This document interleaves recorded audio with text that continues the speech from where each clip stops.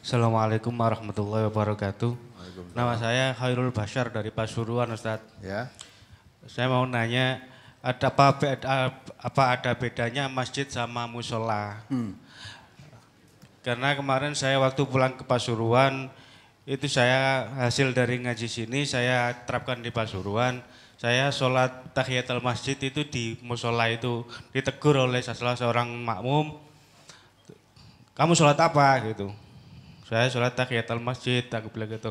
Nggak ada, kalau kamu sholat di masjid boleh, kalau gitu. Nah, terus apa boleh saya meni- apa benar dibenarkan saya meninggalkan jamaah Ustadz karena memang di situ jamaahnya itu enggak tumak nina gitu Ustadz. Dan bacaan makmum itu sampai terdengar eh, misalnya imam membaca surat itu makmum baca Fatihah itu keras banget saya terganggu. Saya meninggalkan jamaah itu apa dibenarkan Ustadz? Terus saya minta eh, nasihat buat bapak saya dan keluarga adik-adik saya di Pasuruan Ustadz.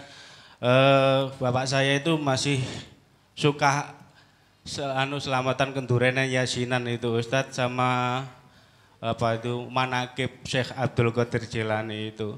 Mohon nasihatnya Ustadz sekarang bapak saya masih melihat eh, apa itu televisi di Pasuruan Ustadz. Kemarin saya sudah saya belikan eh, parabola biar biasa nonton gitu Ustadz. Eh, Assalamualaikum. Bapakmu, bapakmu nonton sinetron sekarang. Lah kok tahu gitu. Lah kok tahu kalau melihat dengan pengajian apa ketok kok Enggak, kemudian sudah, sudah saya bilang tadi setiap minggu ikut kajian di MTA ini Ustadz, melalui televisi Ustaz. Oh ya. Assalamualaikum warahmatullahi wabarakatuh. Assalamualaikum warahmatullahi wabarakatuh. Kalau musola zaman Rasulullah itu tempat di sebelah pintu gerbang Madinah sana yang dipakai untuk sholat jamaah hari raya maupun Idul Fitri maupun itu, itu lapangan musola itu lapangan tempat sholat.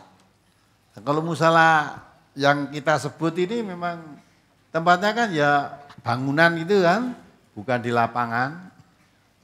Kita tuh macam-macam, ada masjid, ada langgar, ada musola gitu kan. Nah, saya kalau kamu mau sholat di langgar ya nggak ada, tayak tuh langgar tuh nggak ada. Nah, maka sebelum saya sebelum saya jawab kamu terangkan pada saya masjid wipiye, langgar itu bagaimana, musola yang kamu maksud bagaimana. Ya.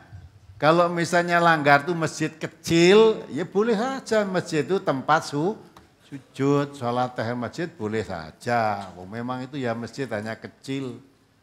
Nah musola, tapi juga untuk sholat, hanya tidak diberi tempat pengimaman itu. Kalau langgar kan biasanya ada tempat pengimaman walaupun kecil. Musola kalau memang itu dijadikan tempat untuk sholat, bukan lapangan seperti yang dan zaman Rasulullah itu musola itu lapangan khusus untuk sholat yang itu jamaah Idul Fitri itu bukan di masjid, bukan di suatu bangunan tidak. Dan kalau musola masjid ya biasa biasa itu boleh saja kamu sholat di situ. Di rumah sakit misalnya itu ada masjid tulisannya ya musola hanya kecil tidak sebesar masjid itu. Itu boleh juga sholat di tempat sholat. Ya, tuh.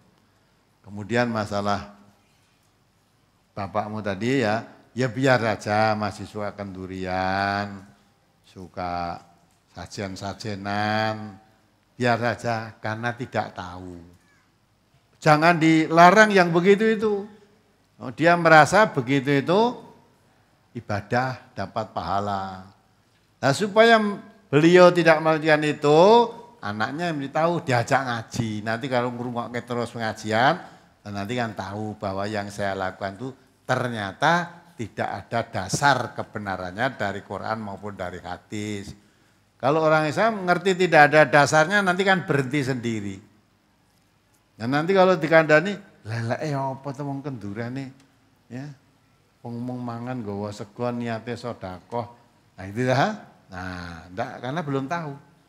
Maka untuk memperingatkan orang yang melakukan suatu perbuatan yang tidak benar, jangan disuruh berhenti, diberi pengertian. Biar nanti kalau sudah mengerti bahwa itu tidak ada tuntunannya, biar berhenti sendiri.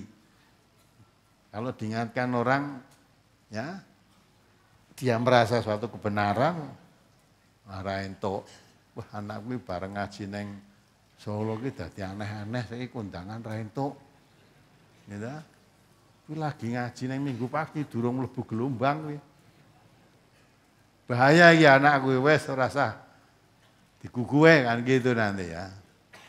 Ya udah biarkan saja pelan-pelan. Wong bapakmu melakukan begitu dulu ya mendapat ajaran. Nanti kalau kamu tanya kan, Pak kok nindake ngata, wit biyen simbah-simbah ya ngene iki gitu lah.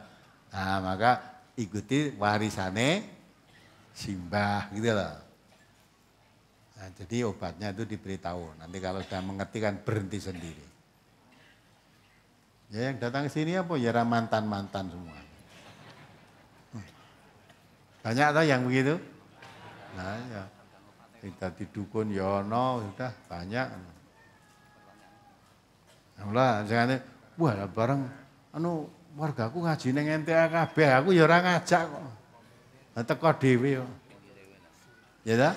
Apalagi kamu orang Islam datang di tempat pas no, wong Islam ngaji Quran hadis kan pas. Wong bukan orang Islam, orang Katolik, orang Kristen, orang Hindu, ngaji di sini boleh. Walaupun kamu orang Kristen ngaji di MTA tidak saya suruh masuk Islam tidak. Kue tetap Kristen ya boleh. Lah bos tidak bareng buat pikir-pikir terus kue pindah dari Islam udah aku sing ngakon. Gitu, karmu dewe. Gitu. Hanya yang Katolik jadi Islam, Kristen jadi Islam, Hindu dan Islam yang ikut ngaji sini. Tapi tidak saya suruh ndak karpe kok. Ampama saya tetap Kristen ngaji di MTA boleh ndak? Boleh.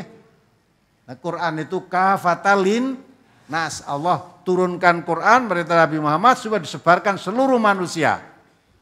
Nah, kamu orang Kristen ngaji di sini juga boleh. Walaupun ngaji kamu tetap Kristen ya silakan. Nek ngaji ngerti tenan terus, loh, aku tak jadi selama itu aku sing ngakon karepmu dhewe boleh. Apalagi orang Islam ya. Apalagi masih ada satu pertanyaan jadi Apa?